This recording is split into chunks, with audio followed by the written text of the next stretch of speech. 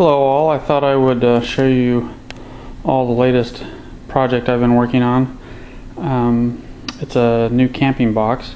I have a camping box already that I use for car camping, but this one is a bit smaller and intended to either be taken car camping or in a canoe. It was the dimensions were set up so that I could nicely fit it in my canoe behind a cooler if I wanted to um, do some pretty luxurious car camping and or uh, canoe camping in terms of um, what I take with me. So this is definitely not something you would want to take with you if you were having to portage very far.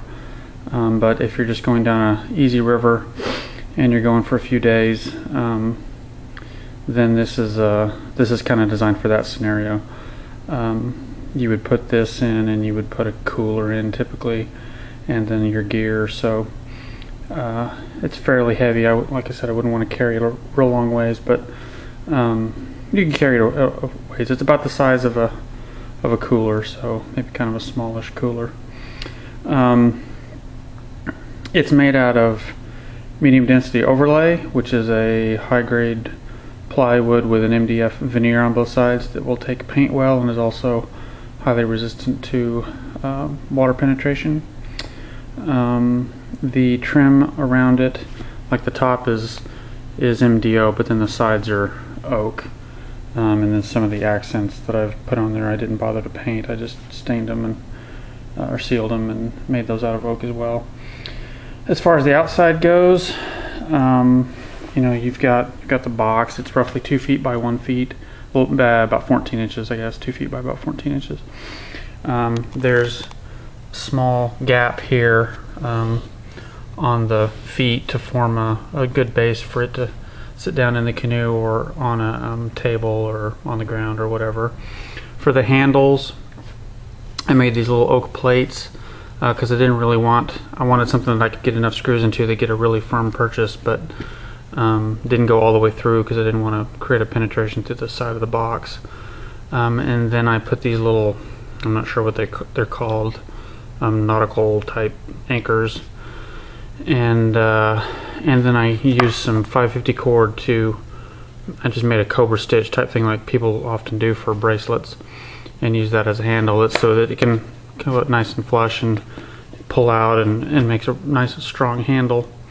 Um, and then these anchor points also provide a place to um, lash other things in the canoe or um, or if you have it on a picnic table you can hang trash bags off of it or, or whatever you want to do but it gives you a nice lash point for for whatever um, didn't get real fancy with the the lid mechanism as far as the, the latch because uh, the honestly the um, shock cord worked as well as anything else I could think up. So just went ahead and stayed with that.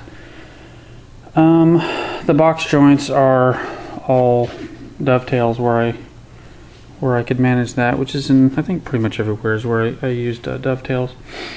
Um, it's probably unnecessary in some places, especially on the plywood, but um, yeah, you know, I, basically dados and dovetails everywhere. And then the uh, bottom of the box, one of my design requirements was that I'd be able to carry a a cooking grill um, that you put over a fire. So this has got feet on it, and you can get these anywhere, Walmart or, or whatever. And um, I didn't really want it inside the box because they get pretty nasty when you're using them. But I wanted to take it with me, and I didn't want it to have to strap to the side of the box because uh, it can poke things and tear holes in sea bags and that kind of thing. So I thought this was a good solution. It kept it up off the bottom of the canoe, but it kept it with it, and um, allows to take me take it with me very fairly easily. Um, it was one of the design requirements, which is one of the reasons the box is as big as it is because I had to be able to fit that thing. You can buy smaller grills like grates like that, but um, those are plentiful everywhere. So if you mess it up, forget it, whatever, you can go to Walmart or Kmart or wherever and just buy another one. Um, so you know, obviously this opens up fairly easily, although with one hand it's a little, a little hard. Um, this is kind of pain with that one without two hands, but Um, the lid has the seal in it all the way around. So with the pressure from the shock cords, uh, that that stays on there pretty good and would keep water out. I think unless you just like held the thing underwater for extended period of time, I think it would be fairly waterproof. Um, the inside of the box, we'll go through this stuff. It's got this little slot here. Um, it's got some napkin towel things, some plates. Idea there being just cook them and burn them. Um, I made this little cutting board. Have a larger cutting board and trimmed it down and everything, so that works well. Um, I don't have everything in here that I'll actually take with me. I just threw some stuff in here that I thought would be beneficial. Like these containers are empty, but um, it's probably what I'll take if I if I have a need for all of them. I have this little measuring thing for pancakes and such. Some tea. This is some um, Gatorade type stuff, I think. Uh, I have a couple mugs. This is my uh, spice kit and my mug. I've got some extra salt and pepper, and then these little Coleman spice kits. So salt and pepper in that one, and uh, red pepper and red pepper flakes in that one, and onion and garlic in the other two. So sometimes camp food can get kind of bland, so that extra those extra spices can come in handy. Um, oh man, with one hand this is tough. Um, and inside that, I have these little pegs that I put in so that the the little oak boxes will um, will sit on those.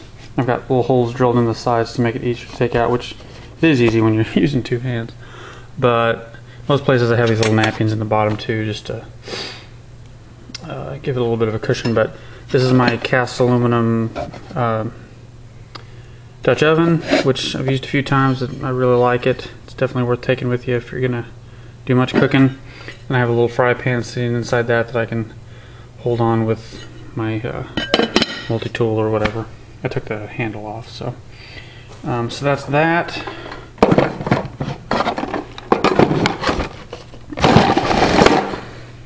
Then over here I have um, a little drawer for utensils, a little pancake flipper, some forks, which I took out of my backpacking gear, um, a couple tongs. Those are really handy for um, hot dogs and burgers and steaks and whatever you might have with you.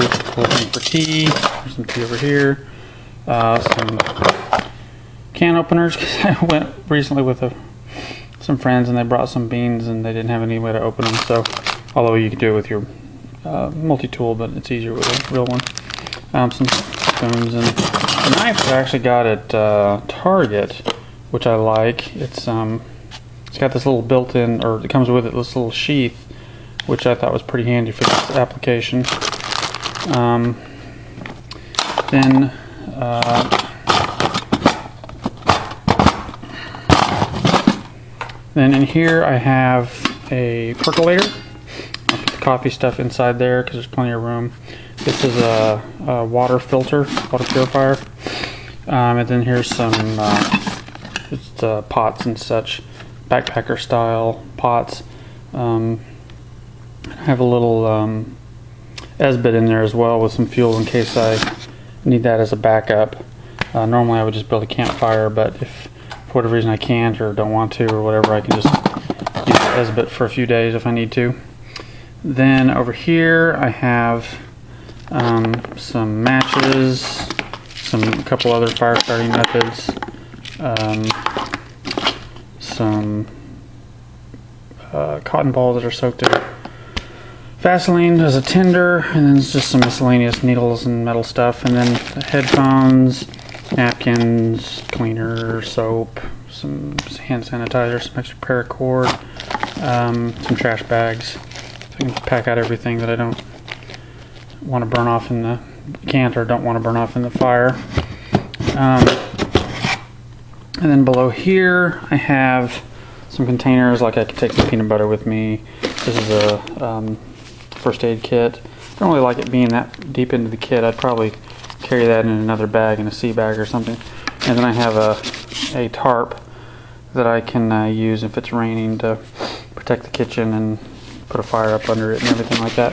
And then this is a little green piece of plastic that I use for uh, a cutting board if this other one isn't enough, or plus that one's flexible, so it's kind of nice for cutting potatoes and stuff, and then just scooping them up and putting them in a in the crock or in the um, Dutch oven.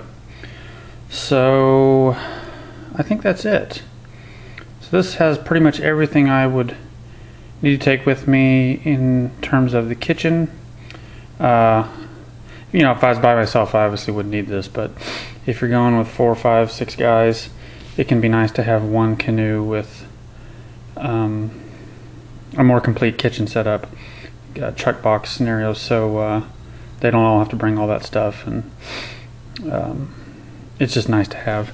Um, so yeah, that's the that's the complete setup there. Uh, I guess that's it. Oh, um, I also made this removable, this little divider here, because it's too hard to get in here to clean it. So once you take these things out, you can pull that divider out and uh, get easier access to cleaning stuff. These joints are obviously uh, dados. Um, I guess that's it. If you guys have any questions, let me know. Oh, one other small thing. Um, I don't really like having to just stick the lid on the ground, so I made it like this um, so that this rides like that. And so you can use this as a chair, or if you've got all the stuff out of the box, um, you can use it as a cutting surface. If you bring a camp chair or something with you, you or just sit on the ground and use that as a preparation area because you need usually need a flat surface, and you know you're not going to have one just in the typically in the in the woods.